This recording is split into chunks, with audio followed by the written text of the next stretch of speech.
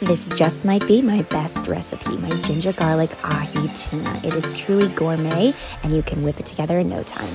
The secret is marinating the tuna steaks, which makes it so flavorful. But here is the key. Do not overcook the steaks. We're talking three minutes aside, you want the middle to still be pink with an internal temperature of 140 to 145. I like to serve it on a bed of massaged kale, but you can also do wild rice.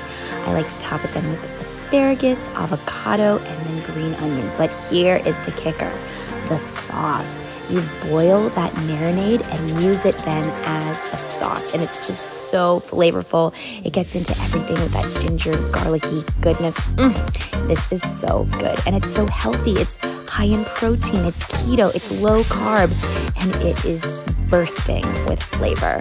I've listed the entire recipe in the description, and hey, it's fiance approved.